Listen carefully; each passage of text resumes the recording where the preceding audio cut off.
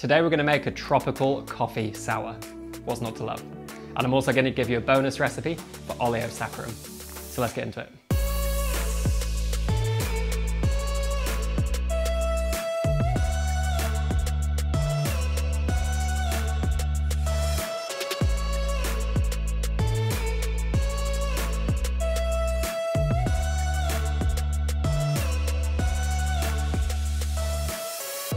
Welcome back everyone to the Coffee Cocktail channel with me, Dan Fellows. So today we're going to be making the tropical coffee sour, which is a banging drink. But before we do that, we need to learn how to make one of its key ingredients, which hopefully will be a really useful recipe to have in the future as well, which is for oleo saccharum. So the first thing we're going to need is a Kilner jar. And oleo saccharum is essentially using sugar to extract the oils from leftover citrus peels. So you can make lots of different versions of this. I'm going to make a blended one. So we're going to go grapefruit, orange, and lemon. So to do this, we want to get 50 grams of each.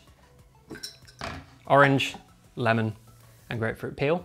And they'll all bring something a little bit different. Obviously the flavor characteristics of the citrus themselves. The grapefruit will bring a little bit more bitterness. The orange will bring probably the most sweetness out of the three. And the lemon will bring the most acidity. But you can change around the proportions of each. Whichever you go for, just consider that that is going to affect the final balance of the drink. So oleosaccharum loosely translates as oil sugar, and that's exactly what this is. So we're using sugar to pull out the oils from the citrus peels. It's a really delicious cocktail ingredient, very versatile. And because we're pre-balancing this, you can actually use it in place of your kind of classic sour mix of sugar syrup and lemon juice. So now we've got that, 150 grams in total. We want to add 200 grams of golden castor sugar and two cinnamon sticks. So the cinnamon is an optional addition, but because the tropical coffee sour has got a really nice pineapple note, I'm gonna add cinnamon, which is my favorite flavor partner for cinnamon. Pineapple, I mean. So two of those, 200 grams of golden castor sugar I'm going for. But you can choose your sugar source. The sugar you choose will obviously impact the flavor profile of your oleosaccharum. So obviously a castor sugar will be lighter, a bit less uh, flavor imparting. Golden castor has a little bit of molasses in there, so you've got a little bit of that kind of rich character coming through.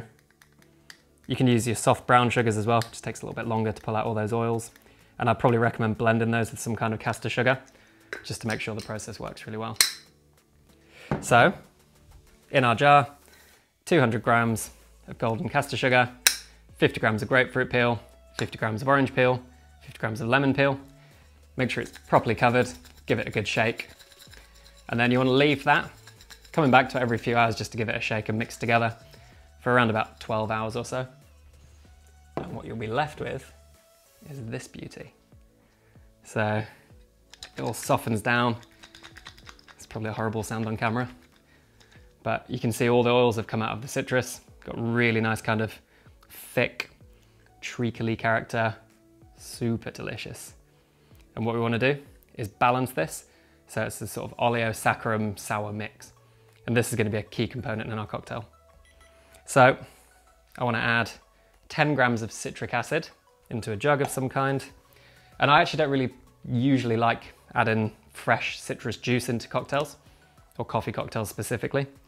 I find it tends to kind of clash with the coffee a little bit. But by adding the citric acid, into the oleo saccharum, you get a really natural sweet and sour mix. You could also add lemon juice to this to balance it that way for other cocktails, but I think this way works really, really well. Mm, this looks kind of weird. And if you've never used citric acid before, it probably is quite weird. But it's super cheap, really easy to get hold of, just Google it. And then this just adds that really nice citric acidity without any of the flavor of the lemon or orange or grapefruit, obviously we've added that through the peels. So you get the best of both worlds, you get all this fruit to juice or whatever. I had a really nice orange juice earlier. We've got the acidity from the citric acid, got the flavor from the citrus peels, we've got the sweetness from the sugar. So I'm gonna add 100 grams of boiling water to our citric acid.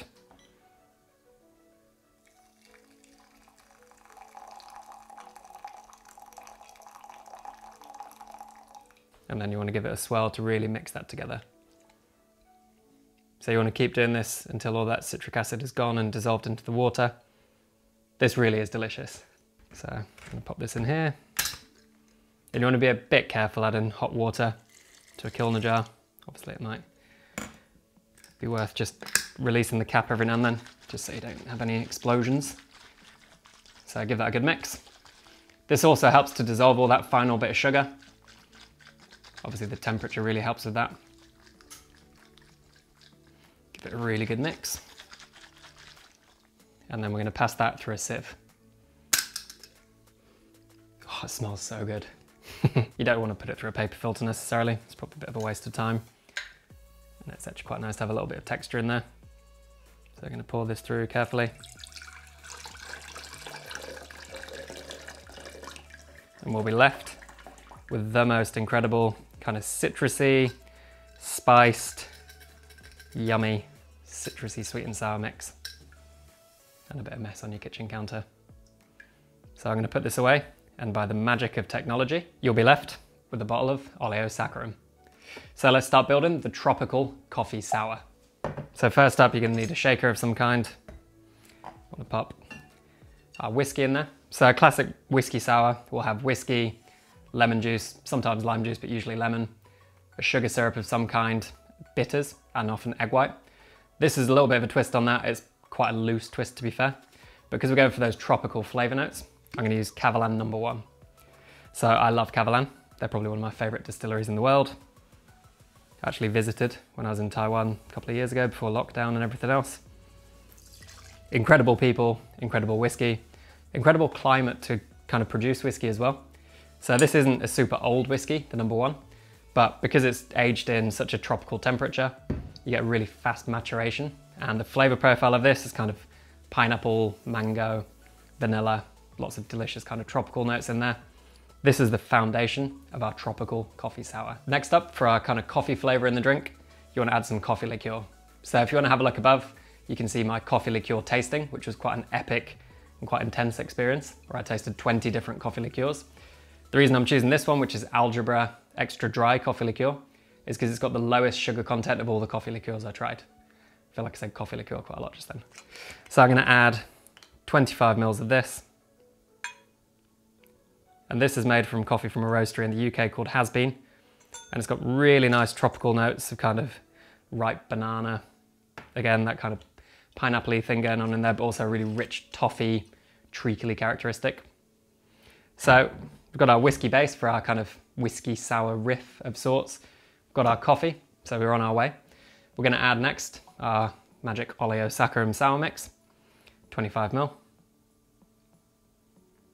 And this just adds such incredible citric notes, sweetness, and just the most delicious oily characteristic. Then we're gonna add 40 mils of good quality pineapple juice. And this substitutes in for any sort of egg white in your classic whiskey sour. So if you've ever shaken pineapple juice before, you'll know it froths up, which is really lovely. So get that really nice texture without having to add any egg white, which again, people can find a little bit strange. Then whiskey, coffee liqueur, oleo saccharum mix, pineapple juice. That would be a very delicious sour. But I want to add sort of like seasoning to this, which is something which I do quite a lot. So first of all, we're going to add bitters. So four dashes, be quite generous. And this just again, obviously brings that bitterness, kind of elevates that grapefruit pithiness in there as well. And then, as I've done in a lot of my cocktail recipes, which I'll link above to lots of coffee cocktail recipes, I'm gonna add a saline solution. So this is done at one to five. So one part great quality salt to five parts boiling water. And then I add one gram of this per 100 mils or 100 grams in the drink. So we've got 50, 25, 25, 40. So 140 mils in total. So I'm gonna add 1.4 grams of our saline solution. And it's really important you use good quality salt for this. Use the same quality salt you would eat, which I think is a good guide to life. So I'm gonna shake this over really good quality ice. Make sure you use ice that's not too watery or slushy, or not watery or slushy at all, so get a really nice texture in your cocktail.